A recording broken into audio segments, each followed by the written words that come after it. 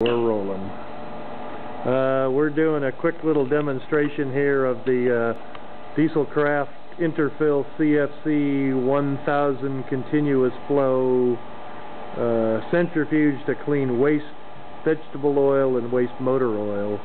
For this demonstration here we're putting in uh, about two and a half gallons of heavily contaminated uh, waste cooking oil it's going in at about uh, one gallon a minute and comes out at the same rate. And uh, what we're going to do after this gets in, we'll uh, open the bowl, show you what's in the thing, and then we will uh, manually operate the self-clean mode uh, to clean the bowl. Generally, what you would do is uh, program the controller to clean every X number of minutes for one or two seconds and that would evacuate all the solids from the bowl.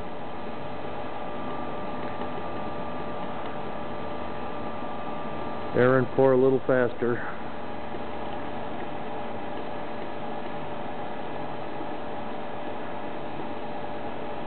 Alright, there's our two and a half gallons are in it. Now what we're going to do is uh, stop the centrifuge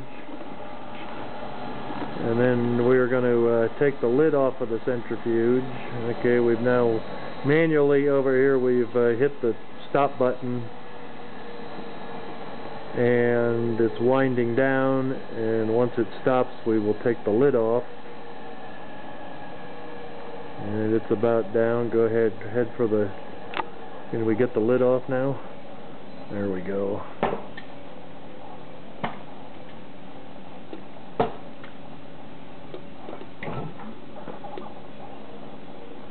Okay, and then inside of here you will see the uh, solids caked on the wall. Go ahead, Darren, stick your finger in there and show them the level and the thickness of all of the stuff we have collected. Yeah, there, there's a layer in there about a half inch thick.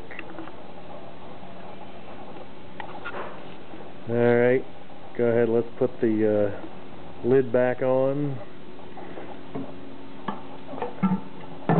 Lid uh, locates on a diameter and has uh, three stainless clamps that holds it in place. And then we are going to manually start again. Go ahead Andrew. And then once it does start we're going to hit the manual clean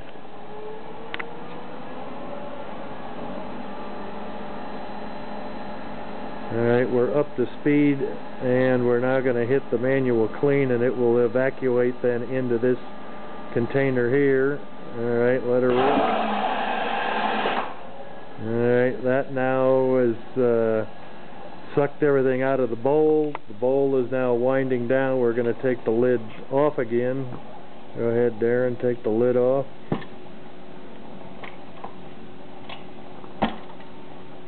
And then inside of here we will see that the uh, bowl is now clean. There we go. And there's no contamination on 95% of the bowl. Yeah there you go. And that's how it works. Thank you